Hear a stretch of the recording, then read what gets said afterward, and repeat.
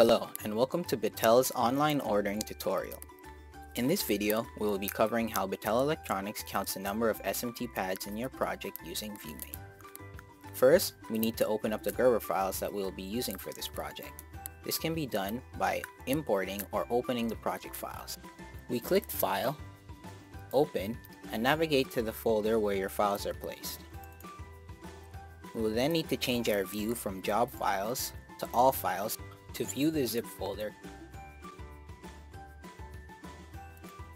Once we open it, we will click OK, and we generally like to keep our units of measurements in inches. Keep clicking OK until the project opens. Next, we will need to select only the top and bottom paste mask layers and deselect the rest. To do this, we simply click Toggle All, which will turn off all the layers. Then, we turn on our top paste mask layer and our bottom paste mask layer.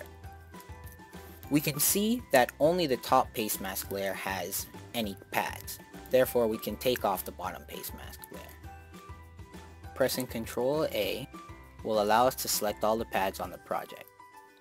Next, we can right click anywhere in our working space and then click View Selection, Properties, and it will show the number of pads that have been selected.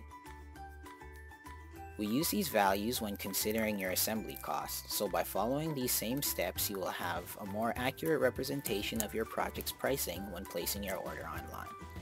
In the next video, we will follow similar steps to count the number of through holes. Stay tuned.